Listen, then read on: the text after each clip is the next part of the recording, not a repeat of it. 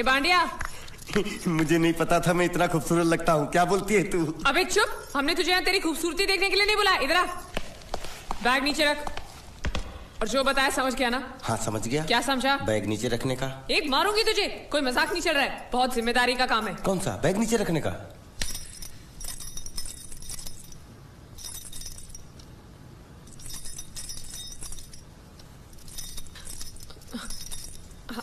अब चलो बताओ सबसे पहले तुम क्या करोगे? अरे सबसे पहले उस गाँव की बस पर चढ़ूँगा कंडक्टर को सौ की पत्ती दूँगा बानवे रुपए का टिकट खरीदूँगा। फिर? फिर बाकी छुट्टा वापस लूँगा।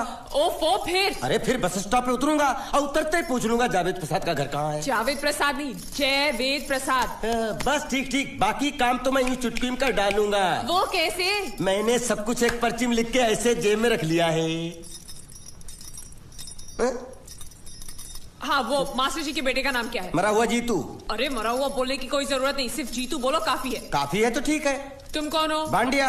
तुम जीतू के कौन हो? मैं मरे हुए जीतू का लंगोटिया यार हूँ। एक बात बताओ ये मरा हुआ जीतू दिखता कैसा है? क्यों? तुम्हें क्या? नहीं क्या है ना अगर वो रास्ते में कहीं मिल जाए तो बैग वहीं पकड़ा दूँगा इतनी दूर जाने की क्या ज़रूरत है? अरे अब तुम जाते हो या नहीं? ठीक है जाता हूँ।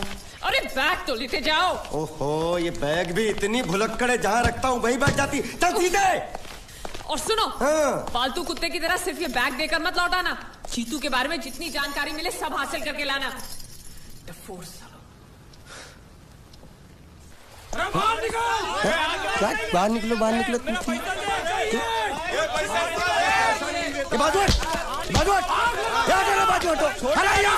ए! क्या पैसा दो पैसा दो। मरे हुए जीत का घर यही है क्या? हाँ यही है। क्या बात है? अब, अब, अब, अब, आप लोगों में मरे हुए जीत का बाप कौन है? क्यों? क्या बात है? तो आप हैं जयवेद प्रसाद। जी आपको क्या चाहिए? मुझे ऑल एंड सोल कंपनी के मालिक ने भेजा है यानी कि मरे हुए जीत के पार्टनर ने। पैसों का मामला है। हाँ हाँ आपको कैसे पता? तो आप भी भीड़ में खड़े हो जाइए। ये घर जलाने के लिए इकट्ठा हुए हैं सब लोग। क्या? घर जलाने? आज जाइए इन लोगों के साथ खड़े हो जाइए। और फिर सब लोग मिलकर हमें जला दीजिए। उस तरह से आप लोगों का कर्जा चुकता हो जाएगा तो ठीक है। लेकिन सच्चाई है कि मेरे पास एक भी फूटी फूटी कौड़ी नहीं है आप लोगों को देने के लिए। और इतनी हिम्मत भी नहीं कि आत्महत्या कर सकूँ। जाइए, जो आप लोगों को करना कर लीजिए। जाइए। अबे नीचे उतर नीचे उतर। सुबह सुबह बैग उठा के चला है पैसे मांगने के लिए और इतना छोटा बैग क्यों लाया? बड़ा ट्रक क्यों नहीं लाया? चलवे तुम्हारी तरह हम भी पैसा लेने के लिए खड़े हम हैं कोई लल्लू नहीं है। अरे नहीं नहीं मैं पैसे लेने के लिए नहीं मैं पैसे देने के लिए आया हूँ। देखो इस बैग में है। बैग में पैसे हैं देने आया अरे बाप रे। क्या कहा? कि पैसे देने आया हूँ। किसको? आपको। मतलब आप इनको पैसा देने आए? अब तक क्या मैं चाइनीज़ बोल रहा था? कान में कुछ और क्या है मास्टर जी? कंपनी का दिवाला निकल गया फिर भी मुनाफे में चल रही है तो उस मुनाफे में मरे हुए जीत का जो हिस्सा है ना वो इस बैग में है कितना है कितना है ये मुझे नहीं मालूम मुझे तो बैग पहुँचाने के लिए बोला तो खोल ले बेवकूफ़ खड़ा क्यों है? खोलना खोलना देखते हैं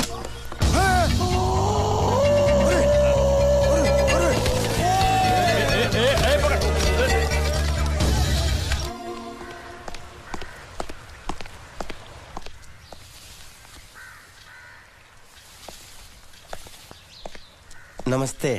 मोहन मोहन राव जी का घर यही है ना? हाँ क्यों? मैं सोच रहा था कि एक बार उनको देख के चला जाऊँ। मैं हूँ मोहन राव देख लिया? चले जाओ। जी धन्यवाद।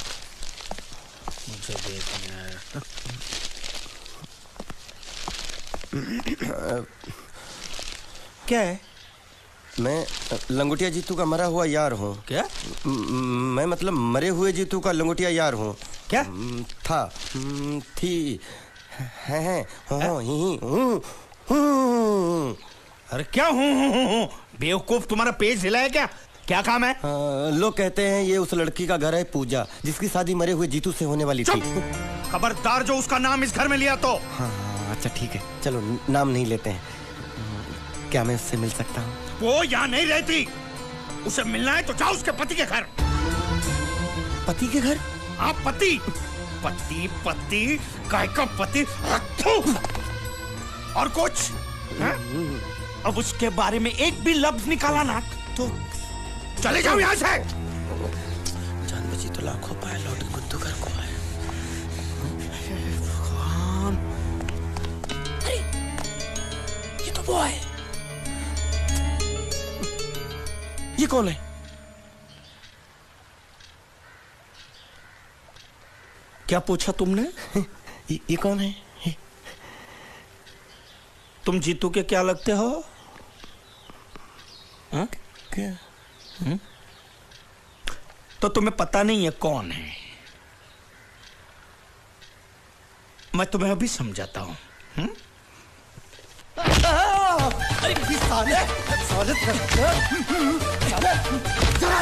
रावण के खानदान, साले मछली काट, सुअर की तुम चिड़िया का मुँह साले धोखेबाज, अच्छी दोस्ती निभाई तूने, इतना बड़ा धोखा दिया तूने मुझे।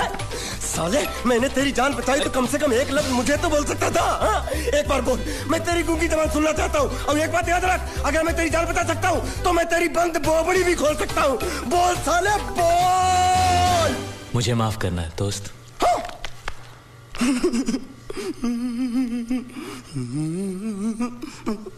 अच्छा मेरी बात अरे सुन तो एक- सेकंड मेरी प्रॉब्लम तो समझ आ तू ये सब क्या चल रहा है? हाँ, हाँ, पता लगा लिया? सब कुछ पता लगा लिया? मैंने अपने दिमाग का इस्तेमाल करके सब कुछ पता लगा लिया। ये बोल सकता है? ठीक है ठीक है ठीक है ये सब छोड़ो।